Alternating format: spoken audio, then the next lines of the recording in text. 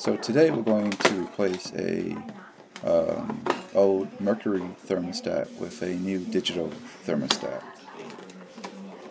This original thermostat has a mercury bulb.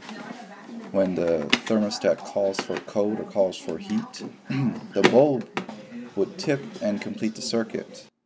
First, let's turn off the furnace. The typical thermostat layout is red, white, green, and yellow, but sometimes these color wires don't match up. So to be safe, it's good practice to take a photo so that we can remember what color goes to which connector. Let's take the wire out by loosening the screw.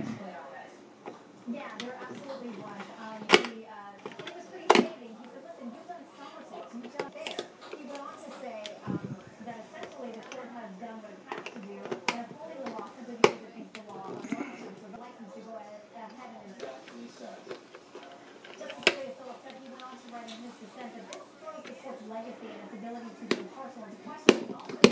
The court has saved the law so many times it should be called.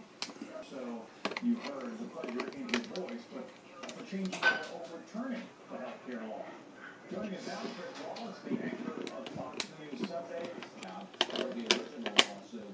So, so this will last at least through his presidency. Now it is a, a new Republican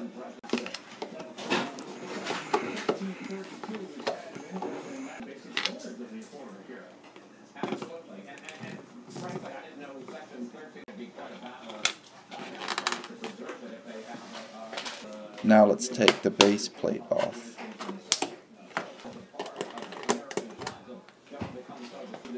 We have paint and we're going to cover it later.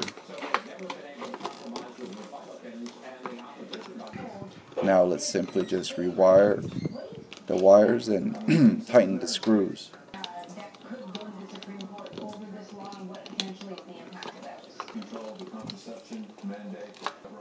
This is real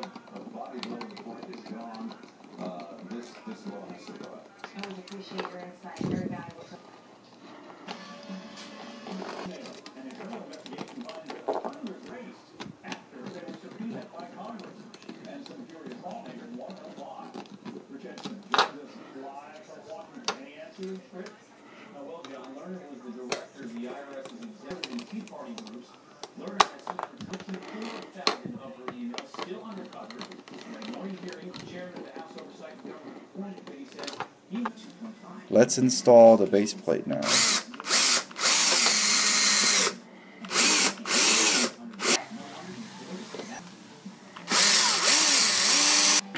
Install the battery